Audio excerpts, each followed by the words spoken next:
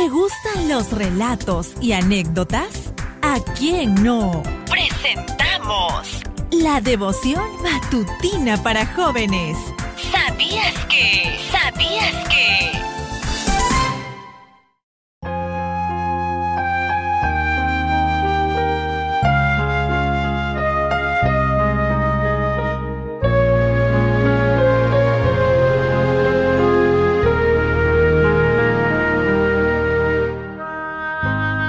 Queridos amigos, bienvenidos a ese relato de la meditación matinal para jóvenes. Hoy es jueves 16 de mayo de 2013. Antes de iniciar el relato de la meditación para esta mañana, queremos elevar al cielo un pedido de oración. Es acerca de las campañas evangelísticas que a nivel mundial la Iglesia Adventista celebra. Así que queremos que en tus oraciones hoy tengas las campañas evangelísticas porque en cualquier parte del mundo las están celebrando en el día de hoy, en esta semana, quizás en el mes. Así que rogamos a Dios que sea el dirigente dichas campañas. Vamos a buscar en las Sagradas Escrituras el libro de Éxodo en el capítulo número 14 y el verso 20. Esaú tenía 40 años cuando se casó con Judith, hija de Beri, la hitita. También se casó con Basemat, hija de, de un hitita llamado Elom. Estas dos mujeres les causaron mucha amargura a Isaac y a Rebeca. Un motivo de amargura.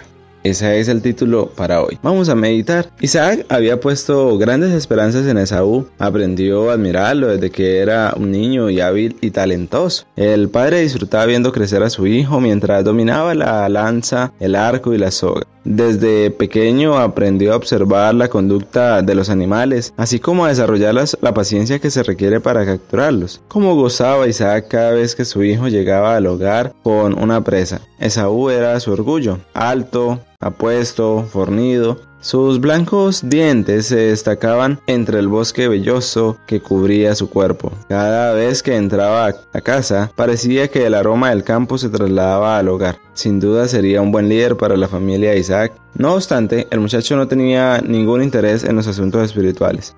Más bien se crió deleitándose en la complacencia propia y concentrando todo su interés en lo presente. Eso lo encontramos en el libro Patriarcas y Profetas en la página 175. Así que cuando se presentó una situación adversa, despreció la primogenitura, el liderazgo espiritual de la familia y la cambió por un plato de lentejas. Luego cuando su padre se disponía a darle su bendición antes de morir, su hermano Jacob lo suplantó y recibió la consagración que le correspondía. Esaú dejó ver su odio y juró vengarse de su hermano, y cuando llegó el momento de buscar esposa no se conformó con una, tomó a dos jóvenes cananeas. La Biblia dice que estas muchachas provocaron una constante amargura a los padres de Esaú debido a que sus costumbres, actitudes y desprecio a la fe hebrea lastimaban el corazón de los ancianos. Aunque no lo creas, el momento de elegir a tu pareja representa más de lo que te imaginas. Es una decisión que llega a afectar a más personas. Muchos padres cristianos tienen grandes expectativas para sus hijos. Por eso tus decisiones eh, sentimentales los afectarán profundamente no solo ahora, sino también en el futuro. Esta mañana, si todavía los tienes, te invito a integrar a tus padres en tu vida sentimental. Consúltales y coméntales tus experiencias. Y cuando llegue el momento de elegir, no olvides tenerlos en cuenta.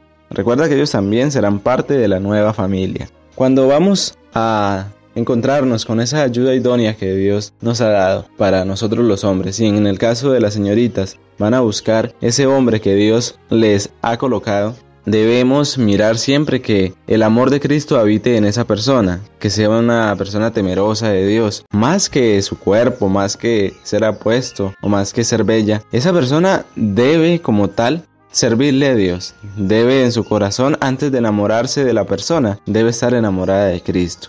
Así que amigos, vamos a tener bastante cuidado con las relaciones sentimentales y sobre todo lo que hagamos con ellas, esas relaciones que Dios quiere que tengamos para mismo algún día poder llegar a ser una sola carne, deben ser motivadas por una sola cosa, el amor de Cristo en cada uno de nosotros. Así que amigos, vamos a meditar en ello. Las relaciones para un noviazgo, quizás un próximo matrimonio, deben estar enfocadas siempre por Cristo Jesús. Dios te bendiga, querido amigo, querida amiga, y nos vemos mañana en otro relato de las meditaciones matinales para jóvenes.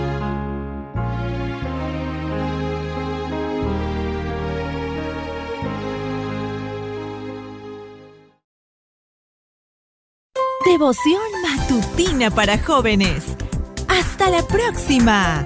Esta fue una presentación del Ministerio Jesús Padilla. Visítenos en www.devocionmatutina.com.